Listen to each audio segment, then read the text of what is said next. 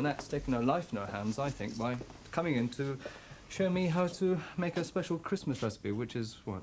Well, Doug, I thought I'd do something that even you could manage. It's a very... Must be very simple.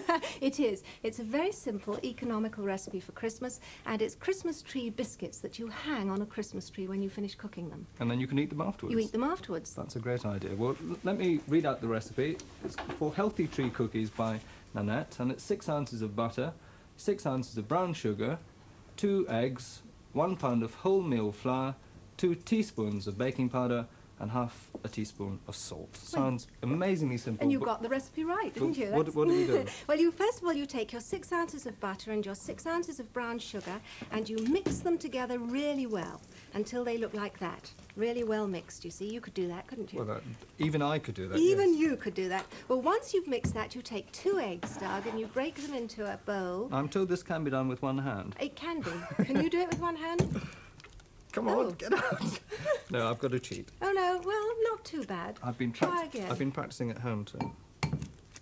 That's pretty no, good. it's coming. It'll take a few years. And then you just beat them up gently. They don't have to be too well mixed. That's it. And you put them into here. And you mix them all around like this. Now, to just save time, I shall show you what happens when they're mixed up. They look like that, you see. Really nice and gooey and sort of all mixed round. Then you take your flour, which is one pound of wholemeal flour, and you sift it with two teaspoonsful of baking powder. They should really be level teaspoons if you can manage it. Why wholemeal flour? I mean brown flour rather than white flour. Well, I think it's healthier and better for you, and I think brown sugar is better for you. And But isn't uh, it more expensive and difficult to find in the shops? No, it isn't difficult to find in the shops at all. It might be slightly more expensive, but these are very delicious, and it is Christmas, isn't it? and, it, and, and it makes the food taste better. It does. It certainly does. Now then, you take all that flour, Doug, and you put it all in here. And oh, well done! You've managed to spill just a little bit. all right. I told you this would happen. You stir it all around. Now, I won't do all that for you because that's quite difficult, but you do sort of stir it around and then push it and get, if there are children doing it, they can do it with their hands until finally you get this lovely sort of doughy mixture. Now this is this, this is the, the moment you can actually taste it, isn't it? Yes, you can. Do you want to? Taste it and see what you think. Good. Mm.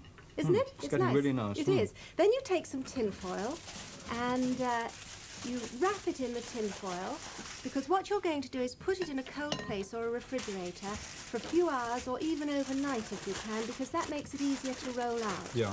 Make it into a parcel or you could leave it in there with tin foil over it and then you put it away, you see, and leave it there to get nice and cold and solid. And when you take it out, you cut it into three pieces. I've done it here for you. And then you take a piece, which by now is all nice and joined up together, flour a board, flour your rolling pin, and now it's all yours, Doug. See how good you are at rolling Well, I don't know if you saw me making scones the last time, but this is where it all went wrong. Never mind. Now, see how you go with rolling it. There is a knack in this. isn't there? There is a knack which you don't See? quite have. Told you. but you. anyway, whether you have the knack or not, don't worry because I'm sure the viewers will have will just be slightly better than you. You take any cutters that you like. If you don't have a cutter, you could take a knife and cut out a Christmas tree or a Christmas bell or something like that. Well, let's have a go at a Christmas tree, shall All right, yes, why not? See how you go with that. That's very good. Obviously, you're, be- you're, you're better at me.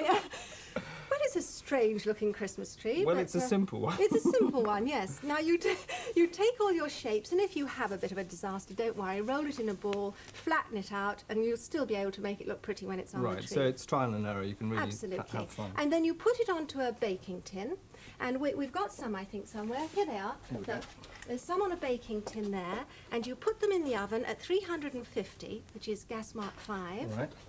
And you leave them in there, Doug, for about six, seven, eight minutes, depending on the oven, Got the until old oven gloves. Yes, don't burn yourself because we have some in the oven that we've already made.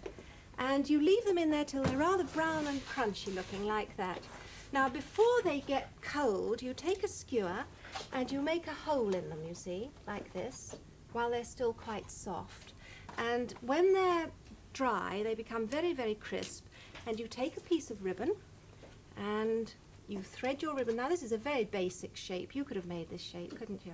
You take I your think ribbon. that was one of mine. It Was looks it? a bit wonky. I think it was actually. And then we go over Thread to your the ribbon, Christmas go over to the tree, and you hang it on your tree, you see, and you make a pretty bow. So really, you're also making a decoration for your Christmas tree. Don't they go stale then? Well, you can wrap them in tin foil, or you can wrap them in see-through paper, anything you to like. keep them fresh. And then you see, you can eat your hmm. own Christmas tree, and you don't have to dismantle it, and it tastes delicious. What a great idea. I'm sure I could actually make them. I'm sure you could. Thanks for coming in, Nanette. Thank you very much for asking me.